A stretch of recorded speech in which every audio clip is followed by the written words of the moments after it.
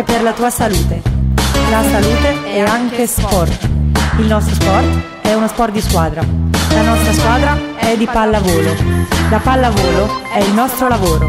Duro lavoro porta a vincere. Vincere è il nostro obiettivo.